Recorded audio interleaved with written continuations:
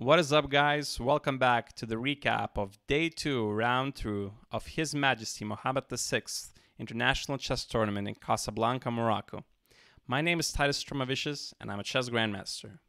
I'm doing a recap of this event because A, I played a former world number two player on the rating list in this event, and B, uh, this was one of my best events ever, uh, and I wanted to share my experiences and games with you from the event. So in round one, I managed to win my game against uh, Avinash Rambesh from India, and I was on one out of one. But as you can see, there's a lot is um, a lot of the starting uh, favorites uh, that are missing from sort of the uh, rankings uh, on the list as they failed to win their uh, round number one games. And uh, again, in, in, such a small event, the opponent's strength will increase quite quickly. And in round two, I was already playing um, a 24-50 player, uh, Sousa Andre Ventura from uh, Portugal. And uh, I was kind of uh, perplexed about the pairing uh, as how I how I should feel about it because I'm happy to be white and I'm happy to be a rating favorite, but I'm also unhappy that my opponent beat uh, the number three rated seed in the event, Gadir Guseinov, in in round one. So I wasn't sure if my opponent, you know, just got lucky uh, and played one good game, or if he's, you know, sort of starting a streak uh, for uh, a great event of his own. Uh, and before the game, uh, I was kind of expecting my opponent to play a Catalan. I decided to play knight f3. Uh, I would say if I played d4, there's probably not going to be much, not would have been any difference, so to speak. we probably would have transposed more or less to the to what we had in the game and what I expected to happen. Uh, my opponent played d5 as I expected, and then after g3, I was expecting my opponent to play knight f6, uh, e6, and uh, yeah, go for some sort of a Catalan setup uh, with you know knight f6, e6, bishop e7 castles. And uh, I wasn't too pumped up about the prospect of it because I felt like okay, white is probably going to be better in most of the lines, but I th also thought that uh, the situation for black isn't all that bad because he's very solid and you know he doesn't make any major mistakes the position is definitely very defendable. Instead, my opponent decides to play c5, and to me it was uh, a complete shocker, and I was already sort of uh, a little bit worried about what was going to happen. Um, my opponent actually, uh, I saw some of his games afterwards, and he was playing this constantly, so I was just unlucky to be paired against him so early into the event, uh, where he sort of, you know, had this uh, new weapon prepared, but hadn't used it yet, uh, and I was sort of the first person he got to use it on. So just poor timing on my part a little bit in that sense. Uh, but, you know, uh, the game goes on sort of. Bishop g2, knight c6, d4. Knight f6, castles, e6, c4. And my opponent takes on c4. And again, I've you know we've, we've seen this position before. Uh, it was one of my games in uh, Kavala in, in the last event. Um, and uh, in that game, I decided to take on c5 because I felt like my opponent was significantly weaker. So I thought the ending should be, you know, very uh, sort of uh, good chances, uh, give me good chances to win. But in this situation, I wasn't as confident because uh, my opponent was, uh, you know, an international master, 24-45, so a very strong player in his own right. And I haven't checked this uh, at all before the game. Um, and I remember that uh, after the game in Kavala, I checked that my notes, you know, suggested 95 in this position.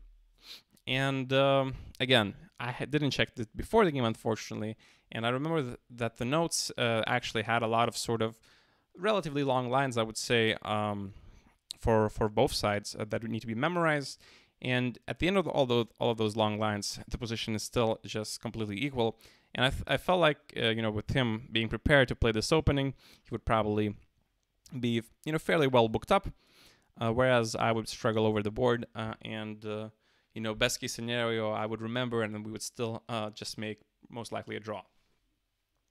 So instead, I decided to sort of improvise uh, with uh, a move that's uh, definitely playable in this position, but I've never really looked at Queen a4.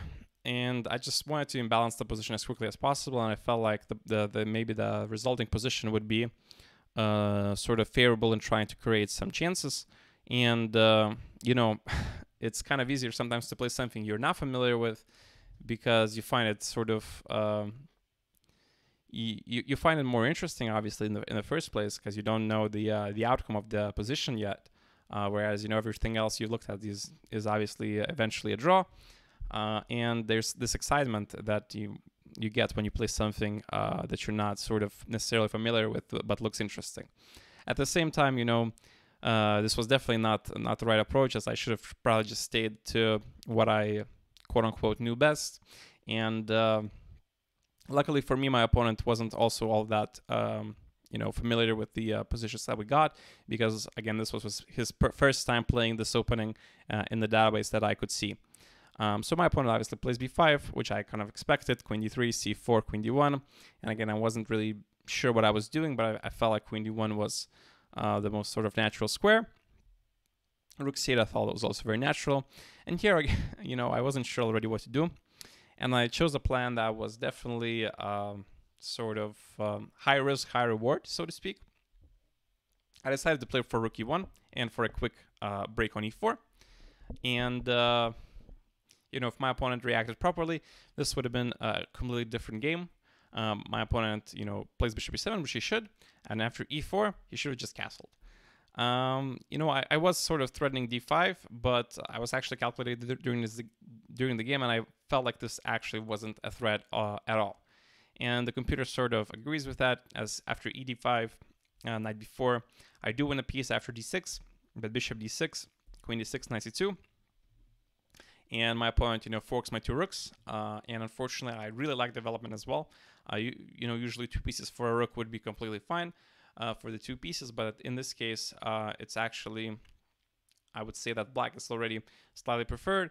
And I checked some sample line, uh, you know, by the engine, uh, which is just a 93, you know, finishing development. And then b4 was the top move.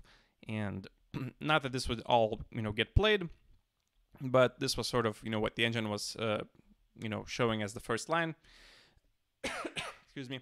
And uh, I would say that I would take black in this position probably uh, as uh, I believe uh, he, my pieces are a little bit uncoordinated.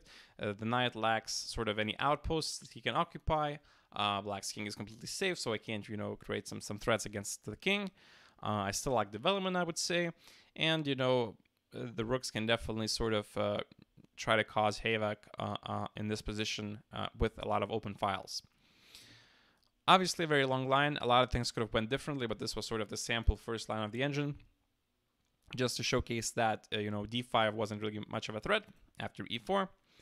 My opponent, you know, luckily for me, sort of uh, uh, fell for my bluff, decided to play knight b4 and uh, now the position sort of i would say is already very very dangerous from the black's perspective because i just get my knight in you know i sort of complete development queen b6 i think is another inaccurate inaccurate move you know gives me bishop e3 but basically uh, uh, an additional tempo and here I think black's position just collapses after rook fd8, as after a3, knight a6, knight f7, uh, not the only move, but uh, the most precise move sort of uh, should end the game more or less immediately. Um, the only sort of downside of this position for me was that I was incredibly low on time uh, already, even though it's only move 17 and we just left the, the opening territory. But again, I was spending a lot of uh, time in the opening as I was trying to decide what to play, as I didn't expect my openings, uh, my opponent's opening choice. After king e7, e5, uh, I thought after knight g8, I at the very least always have a perpetual with queen f3. And uh, you know, king e8, queen h5, because uh, my opponent can't really block. Uh, sorry, king e8. Yeah. Um, but of course, I wasn't going to go for it. Uh, the engine uh, claims a massive advantage for white already, uh, about you know almost almost plus five, I believe, even though he's a piece down. Uh, I I believe one of the most direct ways to sort of completely open up the position and cause major problems for black is with queen e3, f3 check, king e8, and d5. And again, some sample moves would be like knight c5, you know, 94 comes, and after ed 96, the rook is eyeing the king behind all of these pieces, but after, you know, the file is forced open, uh, an additional piece joins the attack, and um, black's position is completely busted. Whereas after, you know, let's say um, queen b8, let's say in this position, uh, so king f8, uh, queen f3, king e8, d5 and queen b8. Uh, I can just uh, play queen h5 check, king f8, and uh, the clinical move bishop h3, just increasing the pressure on e6. And uh, again, the engine just loves uh, white's position. I would say bishop h3, and uh, the following uh, threats are a little bit less obvious.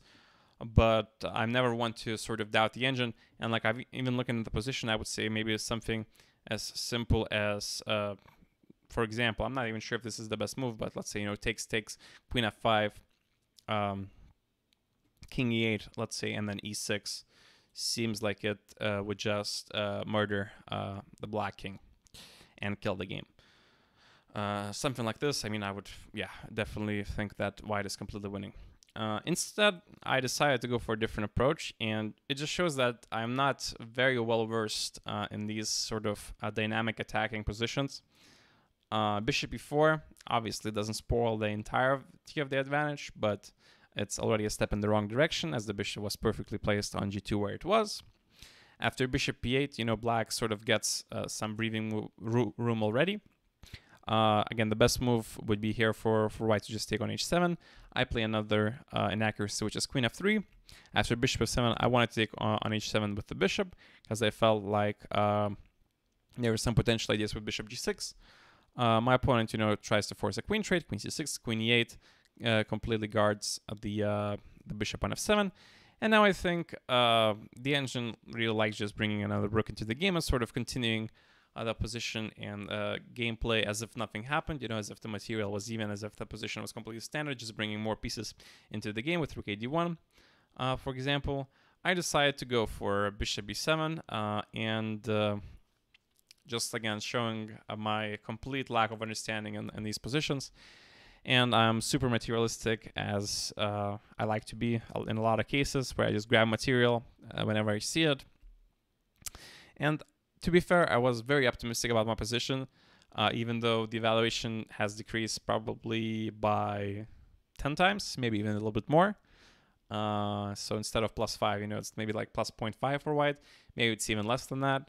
Um, I felt like my opponent shouldn't have enough time to consolidate his position uh, and I will eventually grab a, fourth pawn on c4. And then I thought, you know, his king is still somewhat weak, and uh, with four pawns and a rook for two pieces, uh, I like my chances. Unfortunately for me, things are not as simple as I thought they were. Uh, and after rook a1, you know, my opponent plays bishop d8, which is a pretty good move. Uh, rook a2, 97, you know, brings the knight into uh, the blockading squares. Rook e2, I'm, you know, following my own plan. And then, you know, he blitzes out queen d5. And here I kind of started realizing that uh, it's not actually so easy at all to grab that pawn on d5. And for example, if I take on d5, I felt like my position could be already even worse because I don't really have a concrete way to uh, fully undermine this uh, pawn on c4. I'm still very slow to uh, to establish, you know, if my pawn's were already on g4 and f5, I would say, yeah, position is completely over, but I'm still three tempi away from getting into that sort of um, situation. And uh, I think black is already preferred in this position. Um, so after queen d5, I sort of sort of um, uh, was getting low on time as well, and I felt like my advantage completely slipped away. And uh, this sort of game, it, uh, from this stage on, became a complete uh, free for all, where uh, all three results became possible uh, where again after move what was it uh, like move 17 uh, I had a plus five plus five position so it just shows why you know people should uh, well and, and, they don't resign uh, prematurely these days and just uh, keep playing out because I feel like people's um, defensive efforts and I definitely think that you know I, I for example, don't spend enough time on trying to learn to convert uh, such positions because, uh, you know, just uh, old masters would say, oh, yeah, it's just a matter of technique, you know, plus five, you know, no big, uh, like it's uh, easily convertible. But uh, to actually, you know, find those moves of the board, somehow it always feels like it's just harder than it is when you're analyzing at home. Um, so anyway, going back to the game, where were we at? Queen d5.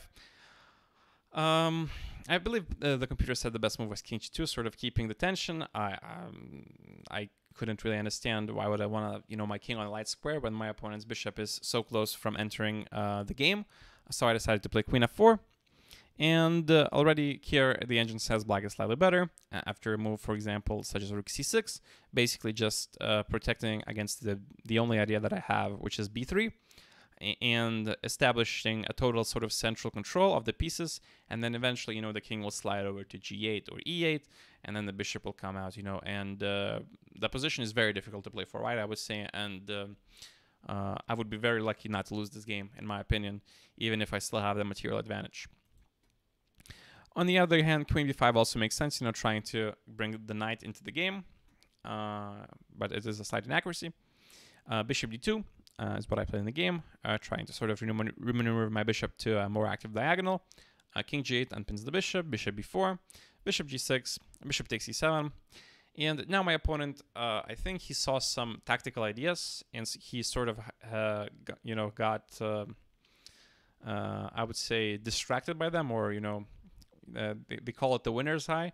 This is maybe the sacrificial high, where you just see an idea where you sacrifice something and you win and, and you go for it, even though objectively, you know, your opponent uh, has, you know, a better move than to, to, to, accept your sacrifice, and also objectively, you have a better approach uh, to play as well.